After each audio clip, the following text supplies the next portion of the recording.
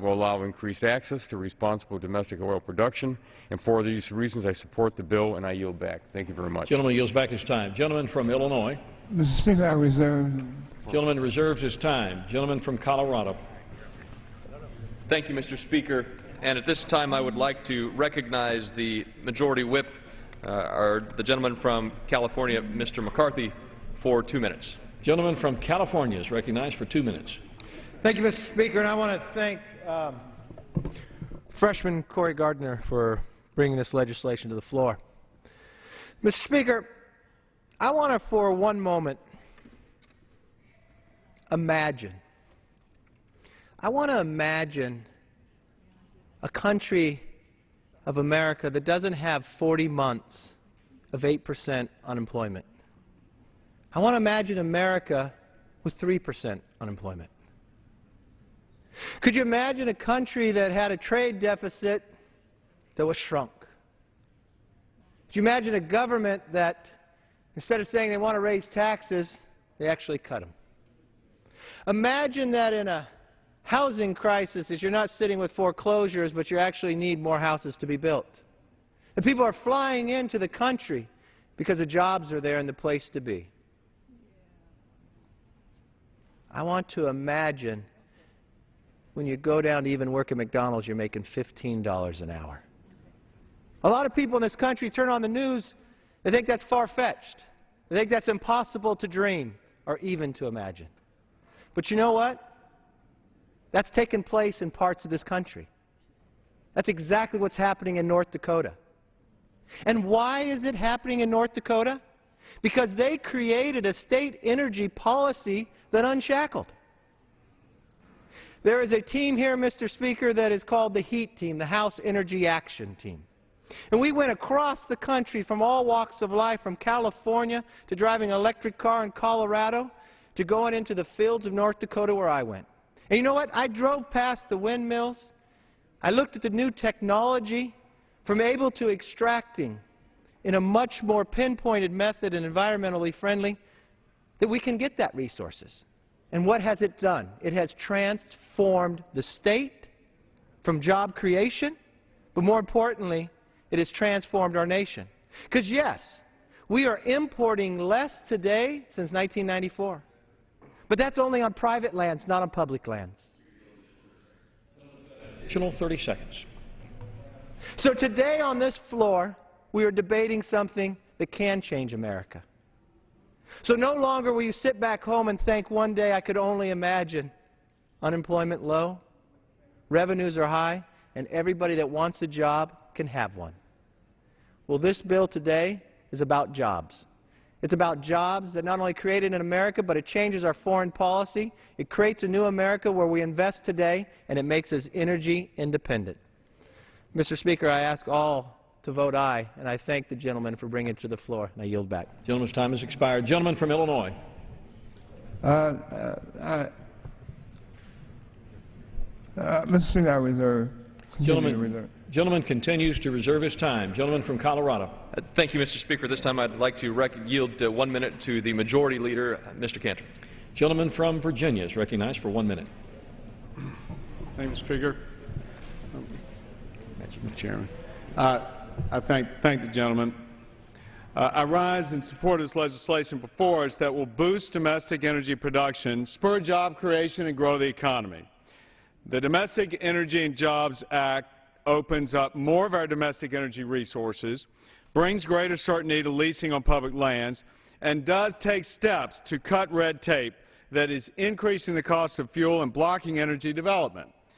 Increasing energy production on our nation's public lands and waters can create millions of jobs, boost the economy, lower energy costs, and make America more secure. It wasn't too long ago that an energy secure America seemed like an unreachable goal. Today, energy security is on the horizon because of innovations that have helped cause our domestic energy supply uh, and create have helped increase our supply and created thousands of good-paying jobs along the way. I saw these innovative technologies firsthand when I was out on a deep-sea rig off the coast of Louisiana a few weeks ago. With this legislation, we give our nation's energy producers the certainty they need to invest in the innovations that are essential to American-made energy and American-made jobs. The oil and gas industry is the lifeblood of so many communities across our nation. But this President's policies have stifled the development of many of our nation's energy resources. Red tape and restrictions coming from the Obama administration are keeping America's abundant energy resources under lock and key, away from our job-creating private sector. As a result of some of these policies, small businesses are feeling the squeeze of high energy costs. Families planning their summer vacations are facing historically high gas prices, and new jobs are being sidelined. People are wondering when will things get better? They're looking for leadership out of Washington, and frankly, this administration has not delivered. Since the President took office, production on public lands has decreased. While I welcome the administration's announcement that it is moving forward with a long-delayed lease sale in the central Gulf of Mexico, it is simply unacceptable that this is the first lease sale the administration has held in the Central Gulf since 2010. Our nation's energy producers have been ready and waiting to put their capital on the line to develop our nation's resources. Delaying decisions critical to energy development creates uncertainty and slows job creation. In fact, the Obama administration has canceled more lease sales than it has actually held. And I think the big question is, why aren't we doing more? Why aren't we developing more of our nation's outer continental shelf, such as that off the coast of Virginia, where there is broad bipartisan consensus in my state supporting such development? After years of watching the President fail to embrace a pro-growth energy policy, the American people do deserve more. The future of our country depends on a true all-of-the-above energy strategy that promotes domestic energy production, job creation, and economic growth. By adding certainty to the regulatory process, we can promote domestic energy development in an environmentally sensitive way. We can promote economic growth and get Americans back to work.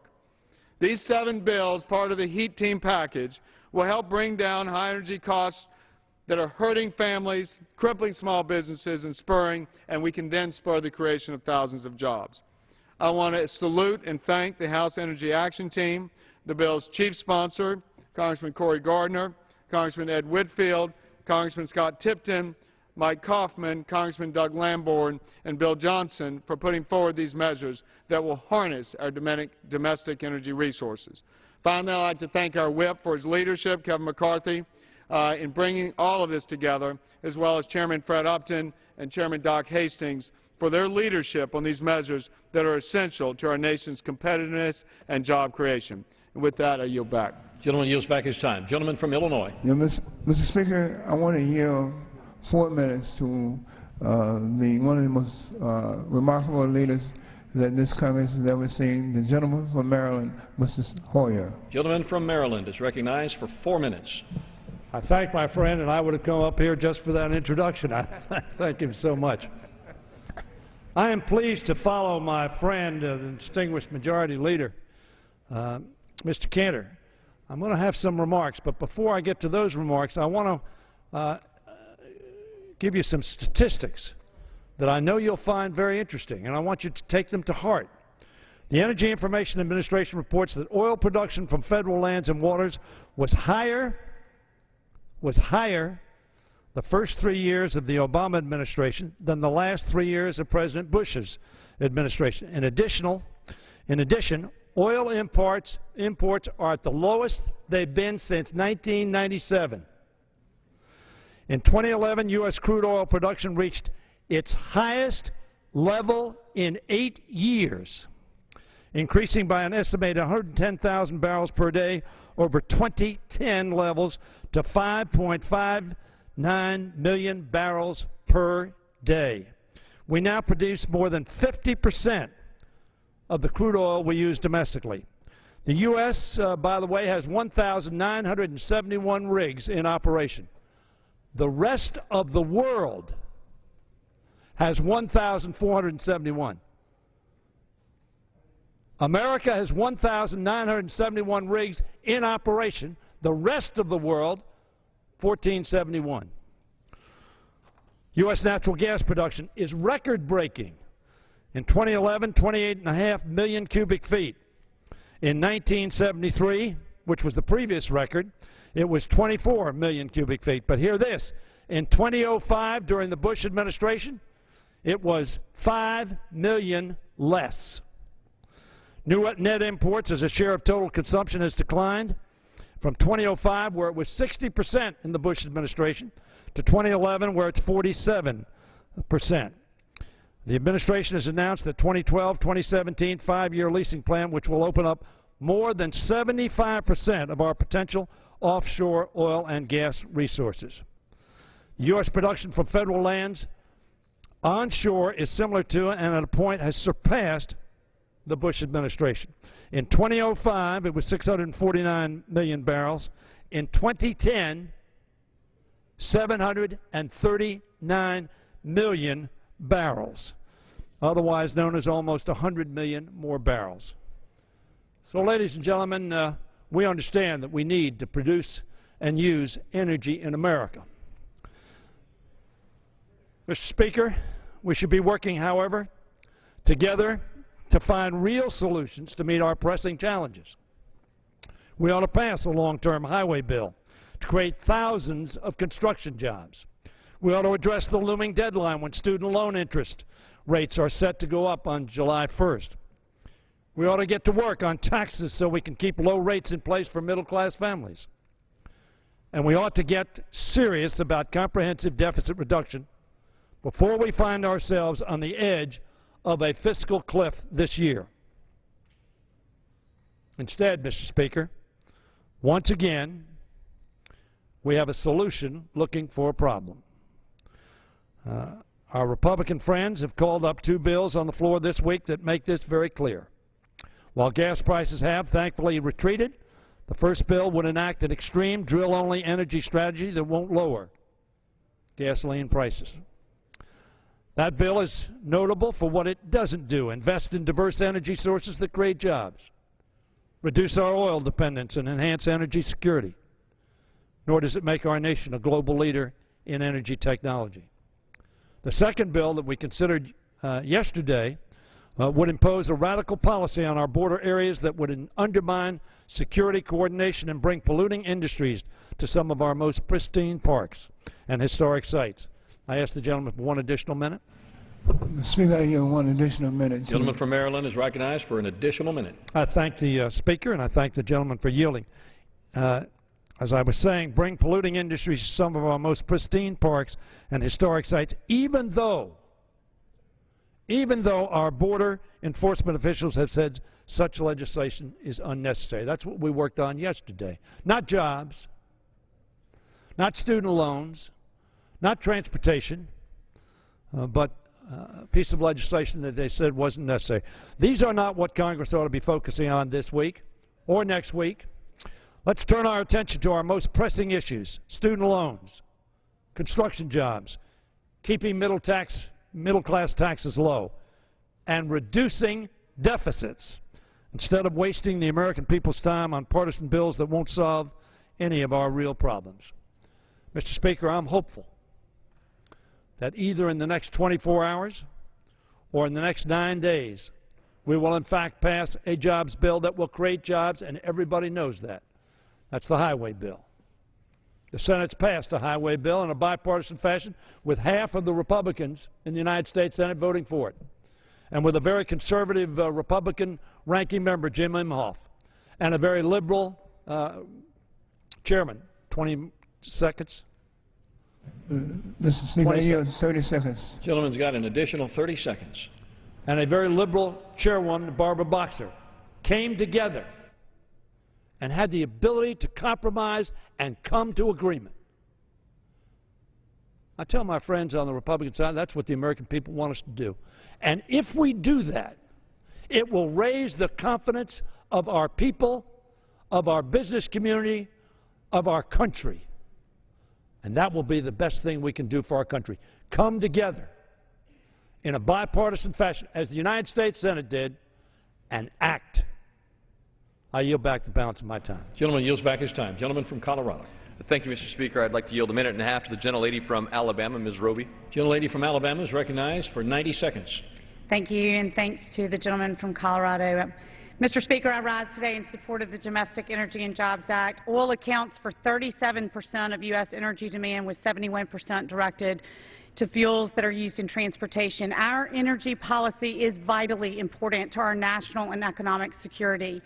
It's especially important to the mother who drives her children to school, as it is the business owner who operates a fleet of delivery vehicles. When the price of gasoline increases, Americans hurt. Last year, the price of gasoline increased 81 cents per gallon. That is why I do support an all-of-the-above approach to energy. This includes opening up new areas for American energy exploration, transitioning to renewable and alternative energy, and using more clean and reliable nuclear. The President, in his last State of the Union, stated the same belief, but this administration has done nothing to back up that statement. The executive branch is using the Strategic Petroleum Reserve for political purposes, imposing overburdensome regulations on refineries and placing obstacles to increasing permitting and leasing on federal lands for gas and oil production. During this administration, we have seen a drastic decrease of oil production on federally owned lands at a time with high gas prices. From 2010 to 2011, there has been a 14 percent decrease. The Domestic Energy and Jobs Act will, will enable job creators in the energy industry and increase domestic energy production here at home. The legislation that is before us today will turn the tide on this administration's actions or lack thereof and allow our nation to move forward to our nation's energy production, thereby increasing jobs and bringing us closer to energy independence. I urge all of my colleagues to vote in favor of this bill. Gentleman from Illinois. Mr. Speaker, how much time remains on this Gentleman side? from Illinois has three minutes remaining. Three minutes. Gentleman from Colorado has 11 and one half minutes. Uh, Mr. Speaker, I hear two minutes from the gentleman from Tennessee. Gentleman from Tennessee is recognized for two minutes. Thank you, Mr. Rush. I appreciate the time. And I rise in opposition to H.R. 4480. This is a bill that's totally a, a giveaway to big oil. The fact is, if we want to be energy independent, we can't drill our way to energy independence. We can get there by having alternative green energies that will create jobs and make us independent. We can have wind and solar, and we can have higher fuel standards for automobiles. And that's the best thing we can do is reduce the demand for, for oil by having higher fuel standards, which we don't have in this bill. The questions about the price of oil and making ourselves energy independent, it's not going to happen. You know, the other side, my colleagues on the other side, at least some of them, for quite a while, about two, three months ago, blamed the rising price of gasoline prices on President Obama. President Obama, the rising price. Of gasoline has come down in considerably since that time. And has one person had the veracity, the, the, the, the, bipartisanship to say, Mr. President, thank you for bringing the price of oil down? No, they haven't, because the President didn't bring the price of oil down, just like he didn't take the price of oil up. It's political rhetoric to say he caused the prices to go up, and it'd be wrong to say he brought them down. There are world markets, a demand in China, a demand in India, a demand even in Bangkok. And, and those demands have put the price of oil up. The situation in Iran with Israel have jeopardized and created concerns about the future of oil shipment through the, the, the Straits of Hormuz. Uh, because of that, prices went up. That situation's been rectified. This bill is only gi a giveaway to big oil. It threatens people's First Amendment rights because it says they have to put up a $5,000 bond simply to protest. It threatens jobs in many industries, the outdoors industry. It threatens public health and people's opportunities to be free from air pollution. It threatens hunting, fishing, and recreation and grazing because it, it violates the multiple use doctrines established by the Federal Land Policy and Management. This is not a good bill for America, and to be energy independent, we need to find green energy and green jobs. I yield back the balance. Gentleman's time has expired. Gentleman from Colorado. Mr. Speaker, I yield 90 seconds to the gentleman from Texas, Mr. Conaway. The gentleman from Texas is recognized for 90 seconds. Actually, Madam Consent to revise and extend my remarks. Without objection. Thank you, Mr. Chairman. I rise today in support, strong support for the Domestic Energy and Jobs Act of 2012 because I personally know the importance of the oil and gas industry to the future of America. I'm fortunate to call West Texas home. Growing up in the Permian Basin, it's given me a better perspective on what it means to produce the raw resources that our nation needs to power its, uh, its uh, industry. It's perspective that's come from working on a drilling rig uh, in Fort Stockton, Texas, uh, drilling uh, miles and miles below the surface of the earth. It's this pursuit of oil and gas miles below our feet that's reinvigorating the pockets of the American economy from Texas to Pennsylvania to North Dakota. The work is hard, but the rewards can be great. Not just for the producers, but also for the roughnecks and the thousands of small and large firms that support the drilling activity and the communities that they host, that host them. Our nation relies and prospers, Mr. Speaker, on affordable, abundant energy like oil and gas. This bill will ensure that not only do we have affordable energy, but that Americans are put back to work producing it. The oil and gas industry on private lands is, is uh, thriving in spite of this administration's attempt to slowly suffocate it. Today's legislation would reverse the glacial pace of permitting and pointless regulations designed solely to, to slow down production on federal lands. Mr. Chairman, this bill will do the things that the President's failed stimulus act has, has failed to do. It will drive investment into American businesses and will put Americans back to work, just like the oil and gas industry has been doing in District 11 for over 80 years. And I yield back. Gentleman yields back. Gentleman from Illinois. Mr. Speaker, uh, I reserve, I intend to close. Gentleman reserves his time. Gentleman from Colorado. Thank you, Mr. Speaker. At this time, I'd like to uh, yield a minute and a half to another gentleman from Texas, Mr. Flores. Gentleman from Texas is recognized for one and one-half minutes. Mr. Chairman, I rise today in support of the Domestic Energy and Jobs Act of 2012. Every developed economy in the world looks to their own resources as assets to fuel their economic growth. Yet, many folks in Washington view our domestic energy resources as a liability. Unelected and unaccountable bureaucrats continue to dream up ways to lock up, restrict, tax, or otherwise regulate these assets away from benefiting the American people. This is an issue of critical importance for our economic security, our national security, our energy security, and most importantly, for the opportunities that we hope to leave for future generations. We desperately need the stability that comes from unlocking access and tapping into our American energy resources. The Domestic Energy and Jobs Act does just that by allowing us to pursue an all-of-the-above energy plan that removes unwarranted government roadblocks to domestic energy production and supply. This bill will also help reduce our federal deficits and our trade deficits. In the case of the former, it helps reduce our federal deficit in multiple ways. One, by growing the American economy and American jobs. Two, by increasing royalties and lease payments to the federal treasury. And three, by reducing the cost of energy for the American economy.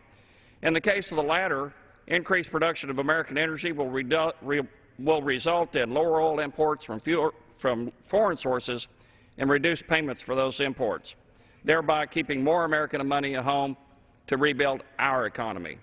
I urge my colleagues to support the Domestic Energy and Jobs Act, which would create jobs, grow our economy, reduce our dependence on unstable Middle Eastern oil, improve our national security, and restore the American dream for future generations. Thank you. I yield back. Gentleman's time has expired. Gentleman from Illinois. I continue to reserve. Gentleman reserves. Gentleman from Colorado. Uh, thank you, Mr. Speaker. At this point, I would like to yield one minute to the gentleman from Louisiana, my freshman colleague, Mr. Landry. Gentleman from Louisiana is recognized for one minute. Thank you, Mr. Speaker. Here are some facts. An estimated 13 million Americans are out of work. The state of Colorado's unemployment rate is 8.1 percent, which correlates with the national unemployment rate. Today, the state of Colorado's estimated reserves are a billion barrels of oil. In 1995, the state of North Dakota's estimated reserves were 151 million barrels. Today, those reserves have been increased to 4.2 billion barrels of oil, but yet, to, and so, but yet today, the state of North Dakota's unemployment rate is 3 percent. What do those facts tell us? Those facts tell us that drilling equals jobs, Mr. Speaker, and it's very simple. In North Dakota, they are drilling on private lands. They are driving unemployment rates down. Please, if the President wants a jobs plan, it is here. And I urge all members to vote for this bill. Thank you. Gentleman's time has I expired. reserve the balance. Does the gentleman from Illinois continue to reserve? Mr. Speaker, I reserve. Gentleman reserves. Gentleman from Colorado. Thank you, Mr. Speaker. At this time, I would like to yield two minutes to the gentleman from California, Mr. Rohrabacher. Gentleman from California is recognized for two minutes. Uh, Mr. Speaker, I rise in strong support for H.R. 4480, a bill that promises to open up more public land to energy development and to streamline burdensome rules and heavy-handed regulations that now thwart new domestic energy development in the United States. The President and the uh, Democratic-led Senate continue to obstruct the utilization of America's enormous natural resources. What are they? they are, and these resources are a God-given asset that has elevated the well-being and prosperity of our people ever since the time of our nation's founding. Now, when we need that wealth and the wealth of those resources more than ever, we suffer the obstructionism of our own government. The President has prevented the construction of the Keystone pipeline. The President has shut down oil and gas uh, production offshore. And most recently, this administration, and perhaps most heinously, this administration has moved with plans to add onerous uh, rules and regulations on a new emerging technology. The efforts of this administration are mind-boggling because there is no evidence that this technology has done any harm to our people, and there is ample evidence that this technology would produce significant economic growth, thus jobs. And I am referring to, of course, fracking, which is clearly been targeted by the president's, uh, uh, let's say, by the president and by his environmental Gestapo friends. Uh, while we are talking today and while we're trying to determine whether or not we're going to be using more resources, gasoline prices are changing the lifestyle of the American people. We're talking about people who are paying $3.50 a gallon, and in my state, $4 a gallon. Why are we allowing our people, 13 million people of, of which are currently out of work and suffering under these conditions, why are we adding such cost uh, for them to bear? Uh, what we need, Mr. Pres uh, uh, Mr. Chairman and uh, Mr. Speaker, is we need to make sure that we move forward, as this bill will do, to make sure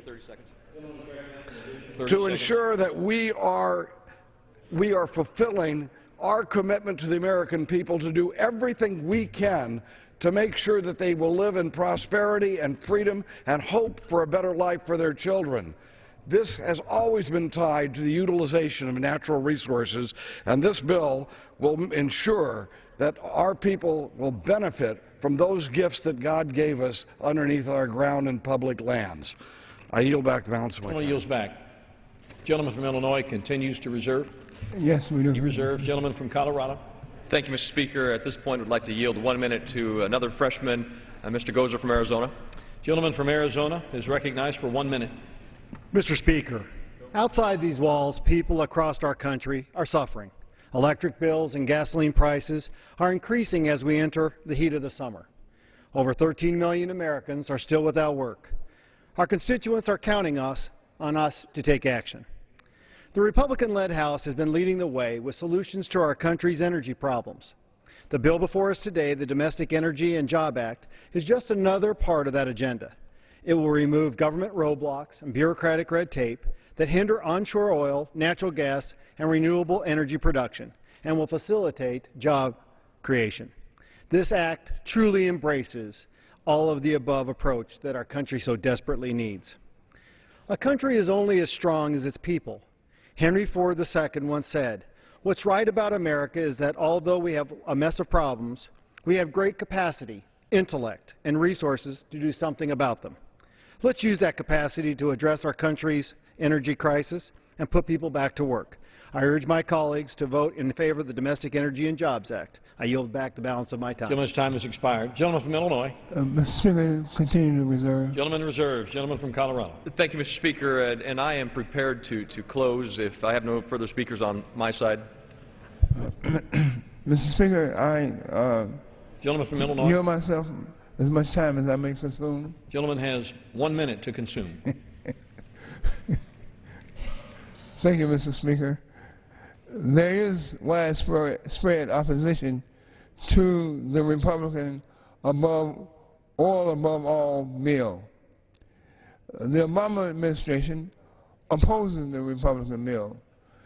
A statement of administration policy says the administration strongly opposes H.R. 4480, which would undermine the nation's energy security, roll back policies that support the continued growth of safe and responsible energy productions in the United States, discourage environmental analysis and civic engagement in federal decision-making, and impede progress on important Clean Air Act rules to protect the health of American families. If the, if the President were presented with H.R. 4480, his senior advisors would, would recommend that he veto the bill. Numerous public health organizations oppose this bill, including the Academy of, uh, American Academy of Pediatrics and various others. Mr. Speaker, uh, this bill is nonsensical. sensical. Is another list, another bill in a long list of big oil giveaways pushed by the most anti-environmental House in the history of our nation. I yield back the balance. of Gentleman's time has expired. Gentleman from Colorado. Uh, Thank you, Mr. Speaker, and uh, just inquire how much time I have remaining. Gentleman from Colorado has four minutes remaining. I, I thank the Speaker and thank you for your patience during this debate. 64,805 jobs. 64,805 jobs, $4.3 billion in wages, $14.9 billion in annual economic impact. That's the number of jobs, the amount of wages, the number of economic impact that we would have seen today, but if not for the backlog of BLM projects over the past three years. 65,000 jobs. There are 22 proposed projects in the western United States that would create nearly 121,000 jobs. Over the past few years, we have seen gas prices increase dramatically. $3.50, $3.60, $3.70. We've heard debate on the House floor tonight that they're going down.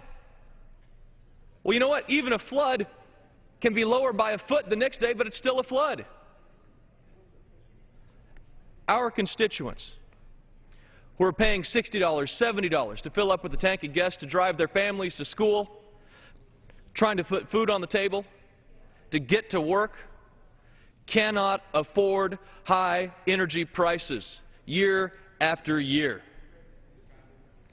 This bill, this package of bill presents us with an opportunity to create jobs, to build on American energy independence, to make sure that we are doing the one thing that we set out to do, and that is to improve the economic chances of this country, our competitiveness, and the lives of our constituents. But they can't do it with gas prices exceeding $3, $4, what's next? Because here we are again. The policies presented in this bill will allow us to cut through red tape, to increase exploration on our great lands in the western United States across this country in an environmentally responsible fashion. It will allow us to make sure that when we access the Strategic Petroleum Reserve because of a supply problem, that we're also addressing a long-term supply fix instead of just quick fix politics. We have an opportunity to make sure that when it comes to the regulations that are driving up the price of gasoline, and they have a real impact, we have both heard before our committee testimony from EPA administrators who say, yes, it will increase the price of gasoline. To stop and take a look before we leap, to make sure that we are analyzing to understand the impact they will have on our constituents who continue to suffer. The best way to improve our economy is to make sure that we are unleashing every sector of our economy. And yes, that means renewable energy. This bill includes renewable energy. It takes a four-year look at renewable energy on public lands, to take advantage of our opportunity with solar on federal lands, with wind on federal lands. But we will not sit idly by while our constituents pay thousands of dollars a year, more each year, to put fuel in the tank, competing with the food on their table. And so, Mr. Speaker, this bill presents us all with a great chance to increase our energy supply, create American jobs, and make sure that we understand the full ramifications of regulations, draws downs of the Strategic Petroleum Reserve before we act. And I think it's important that we say one strong, send one strong message to our constituents, that we've heard you. We've heard you loud and clear.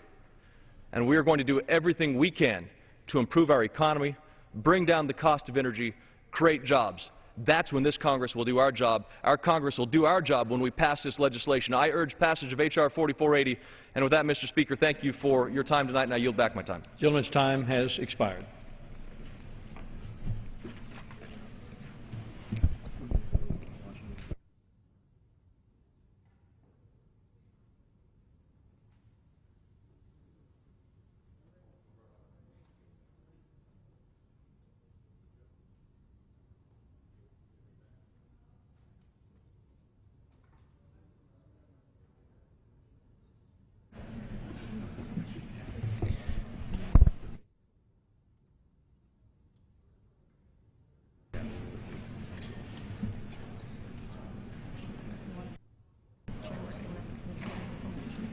We're going.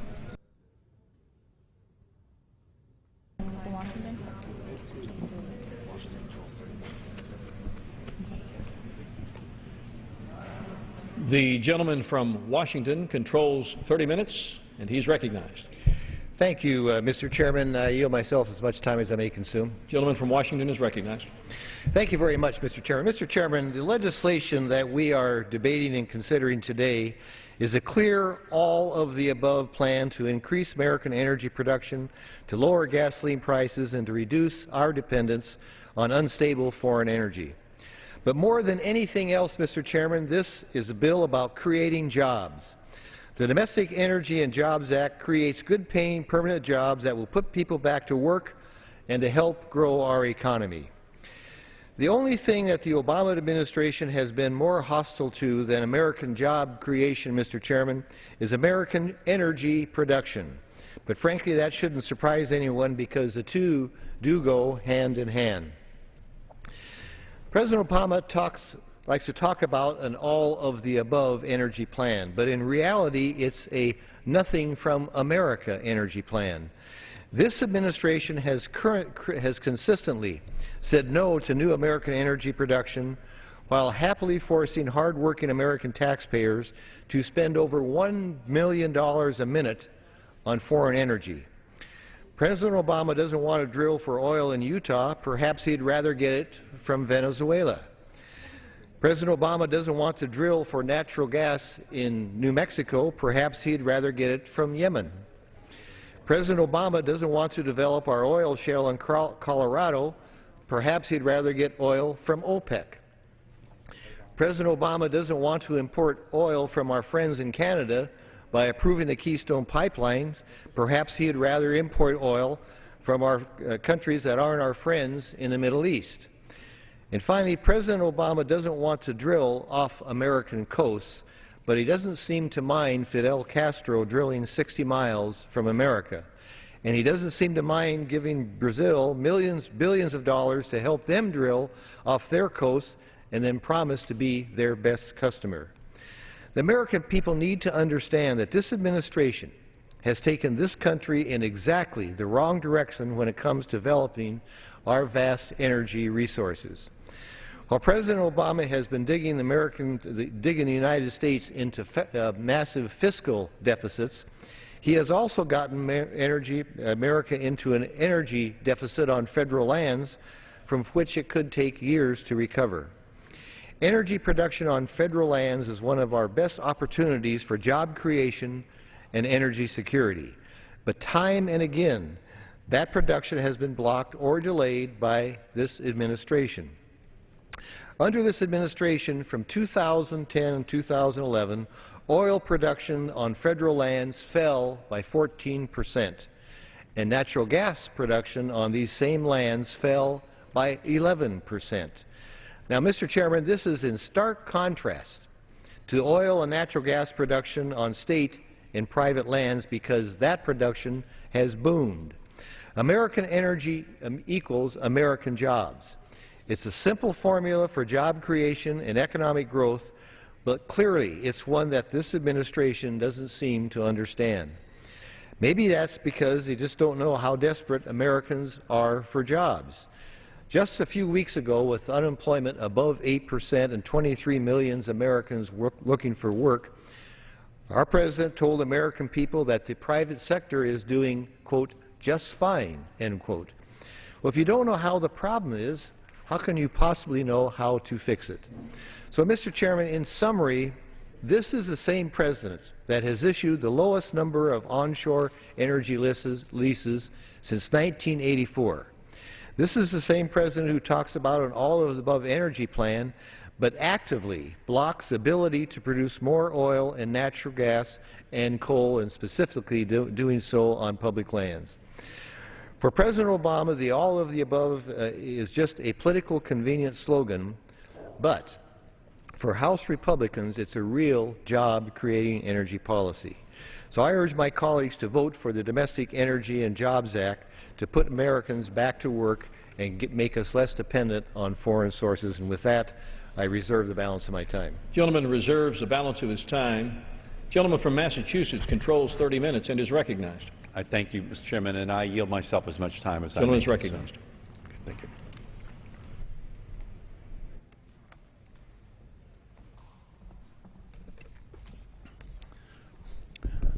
My colleagues, the short title of this bill, the Domestic Energy and Jobs Act, spells out the word D-E-J-A. Deja. But what we're seeing here is not just deja vu, the feeling that we're seeing all these big oil giveaways before. No, this bill is a deja preview, a look ahead into what the Romney administration would do if elected and had a GOP House and Senate to fully implement the oil company's legislative agenda and block all efforts to help clean energy. There has been a lot of discussion of the DREAM Act recently, but the bill we have before us today is really the Big Oil DREAM Act. This package represents everything big oil could ever possibly dream up to drill on our public lands and roll back public health protections. As the world gathers in Rio de Janeiro right now to try to head off catastrophic global warming from the burning of fossil fuels, here we are in the House of Representatives looking for ways to give more benefits to fossil fuel industries. And as America's wind and solar companies look to hire more American workers, here we are in the GOP-controlled House where the Republican leadership refused to make my amendment in order to establish national goals for wind and solar, clean energy, energy efficiency. They won't even allow that debate to take place on the floor of the House of Representatives during what they say is the big energy debate for America. Can you imagine? It's 2012. We're having a big energy debate, the big debate on energy future of our country. And the words wind and solar are not going to be permitted by the Republicans to be out here on the House floor and being debated. And by the way, did I throw in biomass? Did I throw in geothermal? Did I throw in energy efficiency? They won't allow the words to be spoken. There's a gag order here, a big gag order by the Republicans. No debating that. And then they have the temerity to call it an all-of-the-above bill. Oh, a comprehensive energy plan without wind, without solar, without geothermal, without biomass, without plug-in hybrids or, or energy efficiency debated out here because they have a gag order. They prohibit any debating of those issues on the House floor. And yet, here they are, saying it's an all-of-the-above energy bill. Great, great, so fair, fair and square. A real debate. Let all the members decide what our energy future looks like. But before the end of this year, the Republicans are allowing all the tax break for the wind industry to expire. And what are they doing? They are actually going to continue the $4 billion a year that ExxonMobil and Chevron get. That's fair, huh? A gag order on even mentioning wind and solar out here as part of a, an amendment, a debate. $4 billion for the oil industry. And by the way, let's take a look at what's going on in oil production in the United States. Oh, did, did you hear the news? It's now at an 18-year high. Obama, drill, baby, drill, Obama. What a great job. An 18-year high under Barack Obama. Way better than George Bush.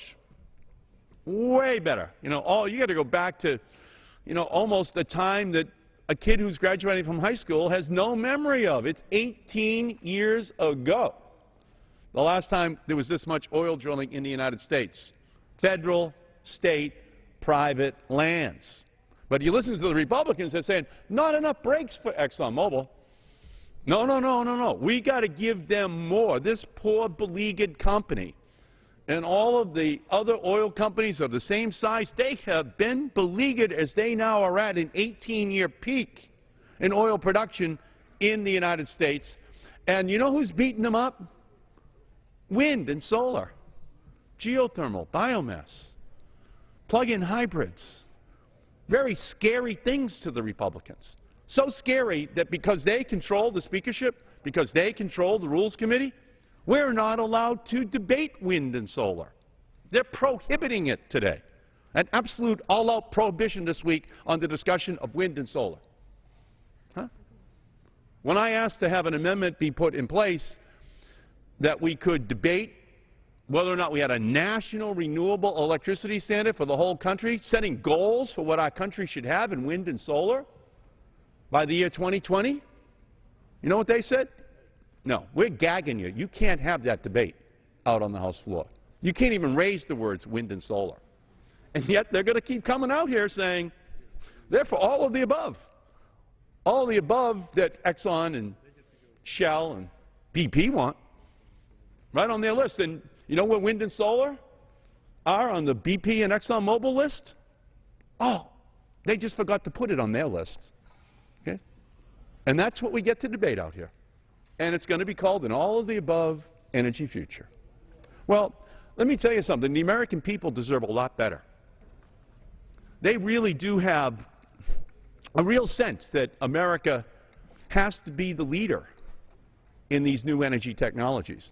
And President Obama has done his best, or else we would not be at an 18-year high. By the way, there are more oil rigs drilling in the United States for oil today, are you ready for this? Than all of the other countries in the world combined.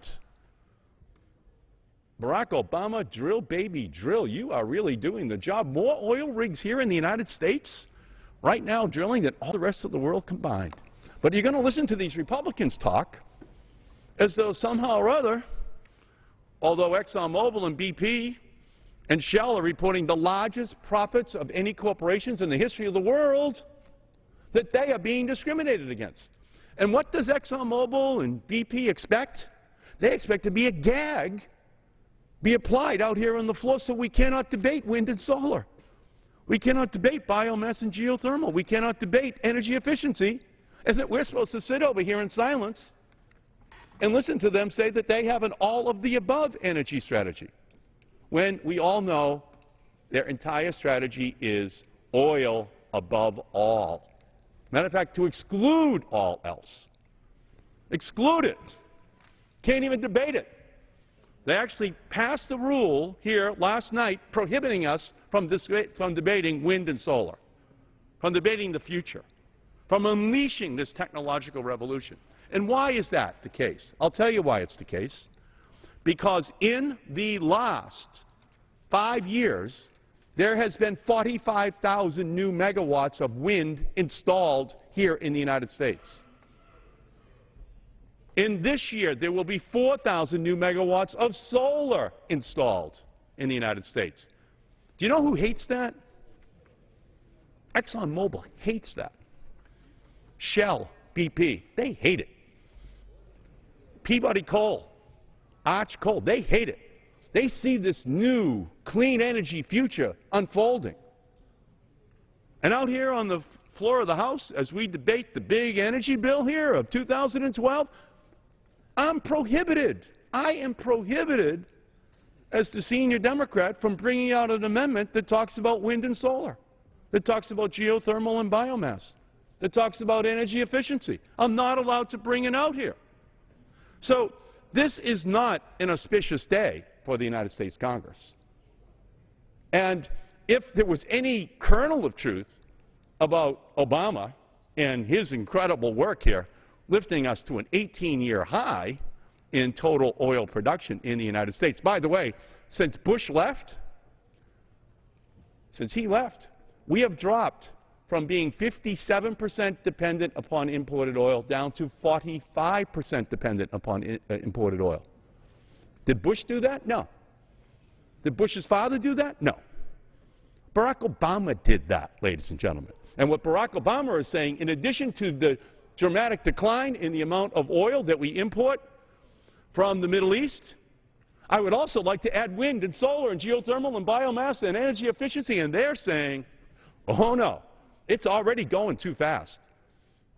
This dependence thing is already happening much too fast for us. And by the way, this revolution in wind and solar, geothermal, people might start driving cars that are all electric and dependent upon wind and solar to give them the electricity. So they don't even have to go into a gas station. You know what they're really afraid of? They're afraid that what is going to happen to them is what happened to the typewriter. That in 20 years, we went from everyone using a typewriter to everyone using a computer. People have to look into a history book to now find what a typewriter looks like. It only took 20 years. And they can see this wind and solar revolution happening so fast that they're afraid that in 2030, a kid won't even know how to fill up a car with gasoline because they'll be plugging in the car at home with solar and wind-generated electricity. That's what they're most afraid of. And that's what this debate is really all about, and that's why there's a gag on the Democrats, why we're not allowed to talk about wind and solar and geothermal and biomass and energy efficiency.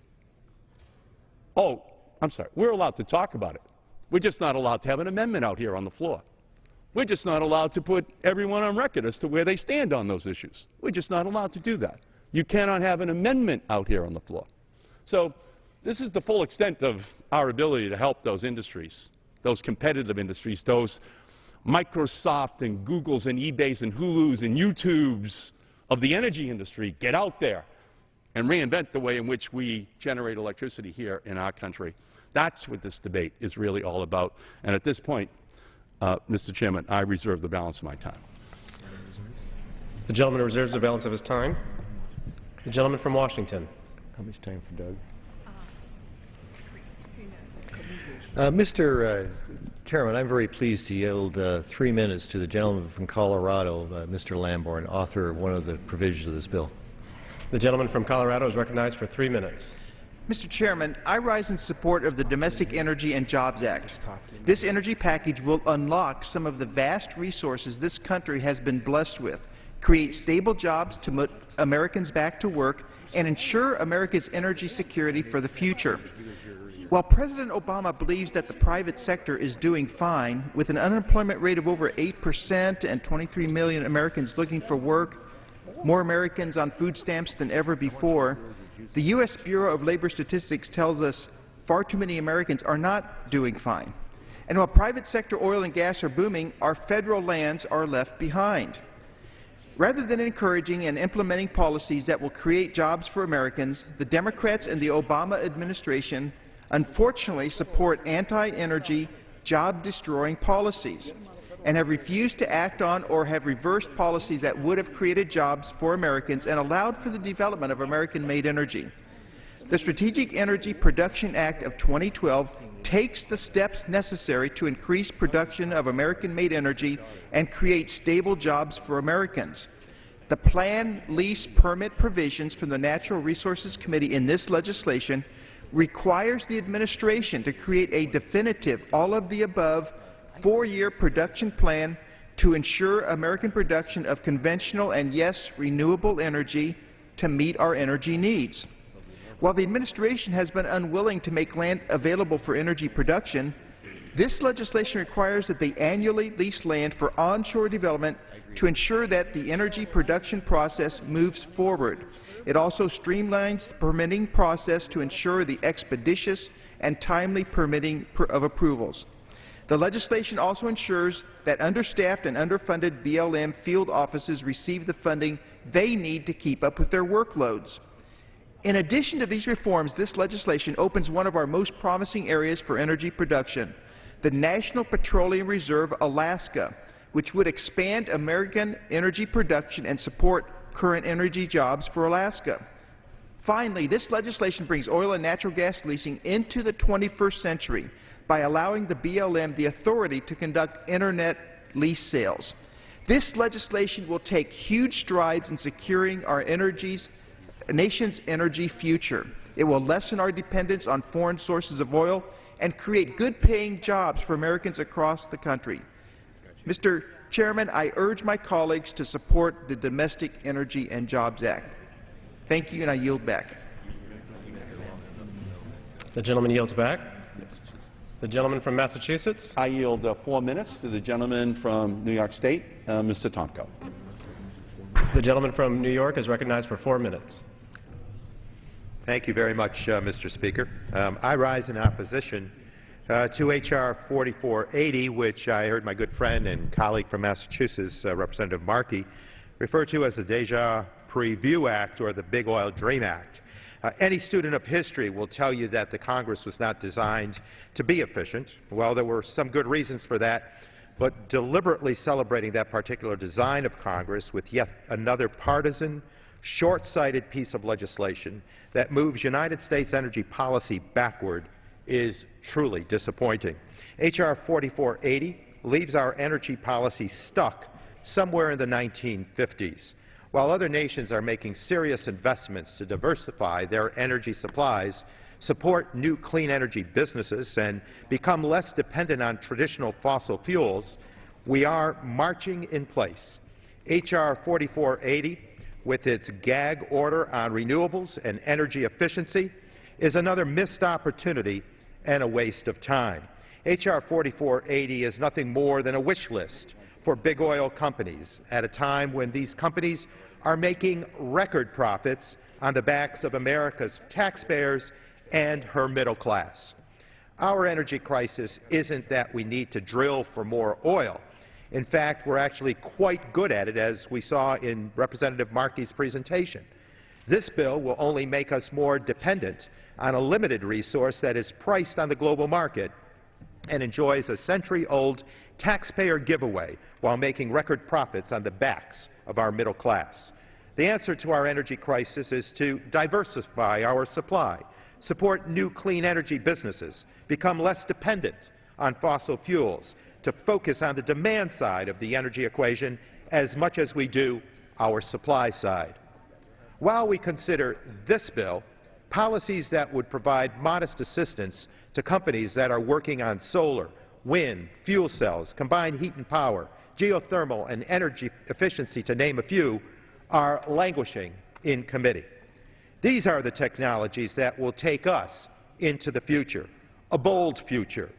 True, they are not yet ready to provide all the energy we need, but that is all the more reason for us to help them move forward aggressively.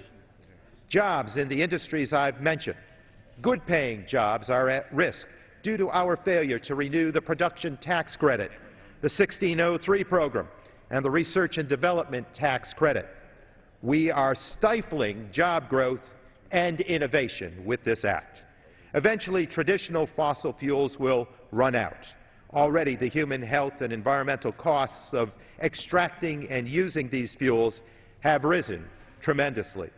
We choose to ignore this at our peril, or at least at the peril of the next generation and generations to come.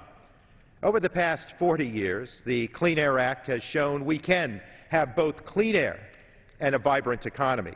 Since 1970, air pollution has decreased by more than 70 percent, while the economy had grown by more than 200 percent. But this bill is likely to eliminate jobs while making the air we breathe more toxic. But that doesn't seem to matter to the majority in the House.